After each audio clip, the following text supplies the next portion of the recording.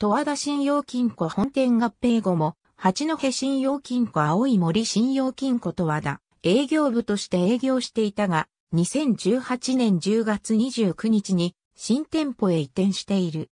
十和田信用金庫は2008年5月まで存在し、青森県十和田市に本店を置いていた信用金庫。略称は都心。統一金融機関コードは1107で、合併前時点の店舗数は14が店だった。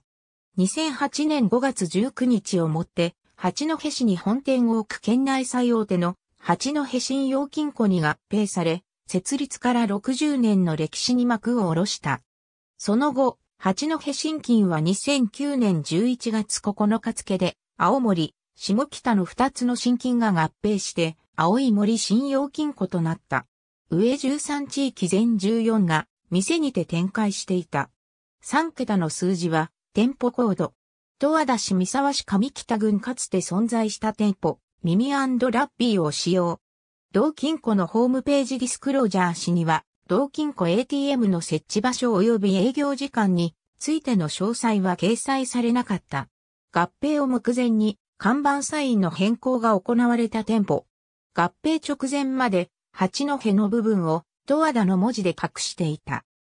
当金庫は本店では16時30分まで下田支店大入瀬町役場分庁舎出張所を除く、各拠点では16時まで、それぞれ窓口の営業時間の延長を実施していたが、八戸新金の既存店舗では全拠点が15時で終了しているため、合併後の窓口営業時間の扱いに対しての動向が気になる状況にあったが、合併日以降は、旧十和田新金店舗で行われてきた窓口営業時間延長の実施を廃止して、八戸新金の既存店舗と同様に9時15時に統一された。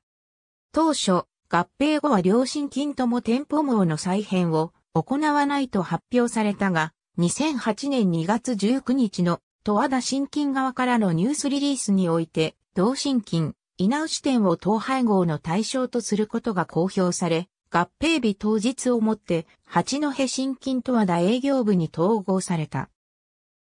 これに伴い、下田支店大入瀬町役場分庁舎出張所及び、統廃合対象店舗である、稲内店の2カ所を除き、重心の各店舗内に設置している ATM には、IC キャッシュカードへの対応と指静脈認証装置の取り付けが完了したほか、合併前までに看板レイアウトの変更が順次行われた。